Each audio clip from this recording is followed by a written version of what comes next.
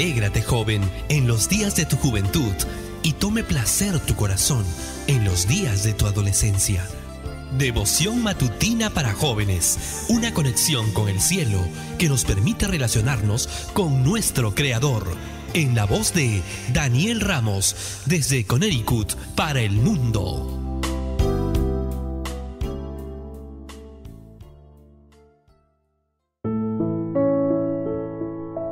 Llegamos exactamente a media semana y qué hermoso es poder despertar y decirle a Dios, gracias Padre por este nuevo día que me das, por tu amor y por el regalo más hermoso, que es el don de la vida.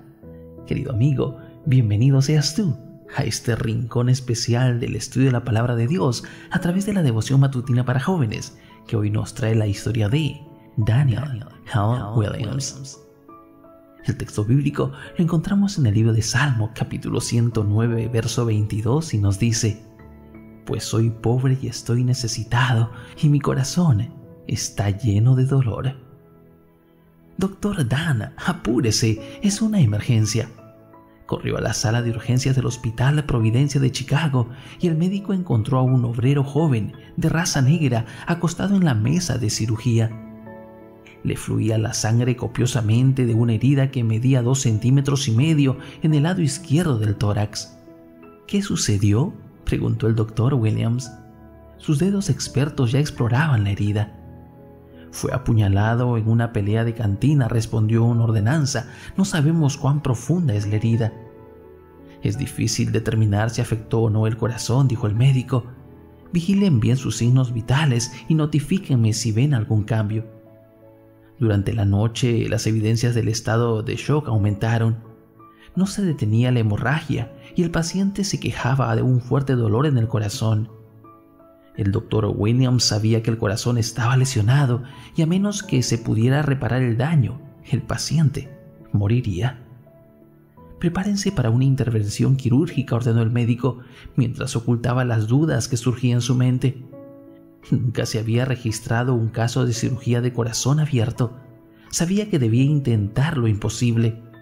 Tenía que hacer todo lo que estuviera a su alcance para salvar la vida de ese hombre. Abrió la cavidad torácica y encontró que el pericarpio había recibido un rasguño, pero el corazón estaba en buen estado.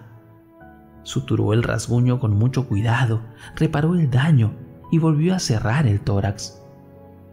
Después de siete semanas, el paciente salió caminando del hospital completamente recuperado.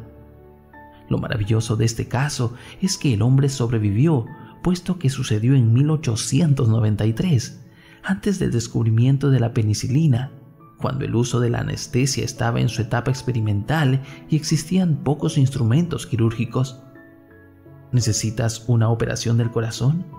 Conozco a un cirujano maravilloso Sabe cómo reparar corazones quebrantados y sangrantes que sienten que nunca más podrán amar. En un instante puede cambiar un corazón frío y endurecido por el pecado por un corazón vivo y amoroso. Puede quitar el dolor causado por los dardos de críticas injustas. Puede detener el flujo de la amargura de un corazón herido. Mi cirujano puede hacer milagros. Dale la oportunidad. Así es hay un cirujano que todo lo puede curar y es Cristo Jesús. Acude a Él esta mañana, que Él sanará tus heridas. Bendiciones.